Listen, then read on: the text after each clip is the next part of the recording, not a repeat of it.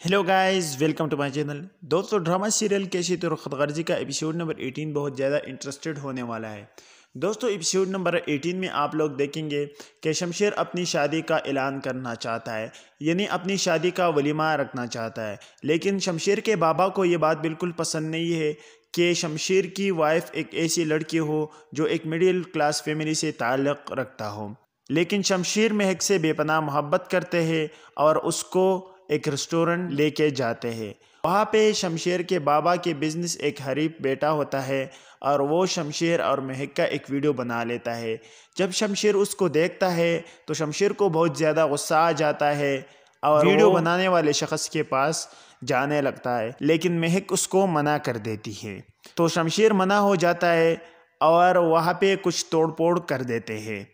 और वो शख्स वो वीडियो सोशल मीडिया पे अपलोड कर देता है और वो वीडियो वायरल हो जाती है। जब ये वीडियो शमशेर के बाबा देखते हैं तो वो बहुत ज़्यादा गुस्सा हो जाता है और वो कहता है कि मेरे लिए मेरा इज़्ज़त सब कुछ था। तुमने इस लड़की की वजह से मेरा इज़्ज़त खाक में मिला दिया है। तो शमशेर कहता है कि इसका हल यही है कि हम वलीमा करें और इनाउंस करें कि हमारी शादी हो गई है।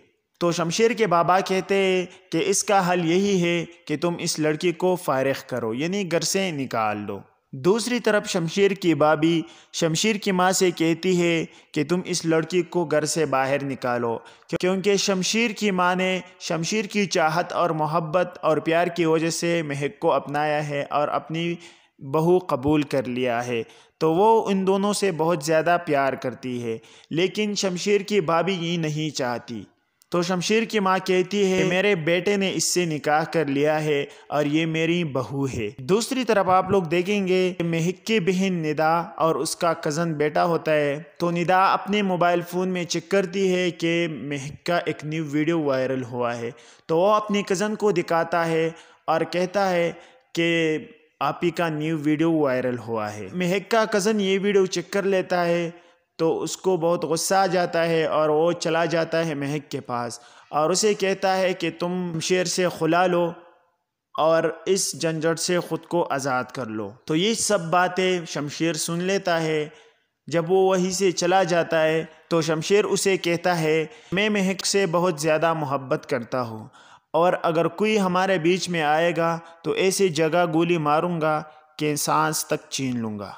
शमशीर की भी पना मोहब्बत की वजह से महक का दिल भी मोम हो गया है। लेकिन दूसरी तरफ़ शमशेर के बाबा ये बिल्कुल नहीं चाहते कि शमशेर अपनी शादी का अनाउंसमेंट करे, यानी अपनी शादी का वलीमा करे। और वो जद में है कि मैं इस मिडिल क्लास फैमिली से ताल्लुक़ रखने वाली लड़की को अपनी बहू कभी नहीं मानूँगा।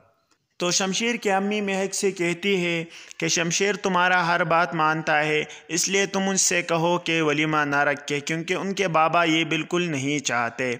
तो महक अपने कमरे में शमशेर का इंतज़ार करती है। जब शमशेर आ जाता है अपने कमरे में तो महक उसको बुलाती है कि शमशेर तो शमशेर मुस्कुराते हुए मुड़ जाता है और उनसे कहता है कि जब तुम मेरा नाम लेती हो कि शमशेर तो मुझे बहुत अच्छा लगता है, मुझे बहुत ज़्यादा प्यार आता है। दोस्तों, अगर वीडियो अच्छी लगी हो तो प्लीज़ वीडियो को लाइक करें, अपने दोस्तों के साथ शेयर करें।